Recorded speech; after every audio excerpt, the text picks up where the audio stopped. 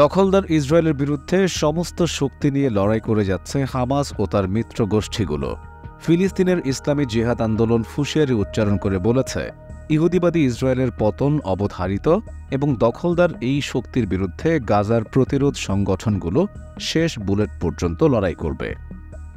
হামাসের সশস্ত্র শাখা আল কুদস ব্রিগেডের মুখপাত্র আবু হামজা গত শুক্রবার এক বিবৃতিতে এসব কথা বলেন।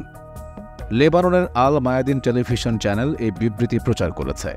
তিনি বলেন, শত্রুদের ভবিষ্যৎ হচ্ছে অনিবার্য পতন এবং এটি হচ্ছে কুরআনের ভাষ্য, যার প্রতি আমরা দৃঢ় বিশ্বাস রাখি। আবু হামজা আরও বলেন, যখন আমরা আমাদের শত্রুদের দখলদার বলে উল্লেখ করি, তখন তার মানে দাঁড়ায় যে, এই শত্রুর বিরুদ্ধে শেষ বুলেট পর্যন্ত লড়াই করতে হবে। গাজা উপত্যকায় যখন ইসরায়েলি বাহিনীর সাথে হামাস ও লেবাননের সশস্ত্র গোষ্ঠী হিজবুল্লার শক্তিশালী লড়াই চলছে, ঠিক তখনই নেতানিয়াহু বাহিনীর পতনের ব্যাপারে এই বক্তব্য দিলেন আবু হামজা।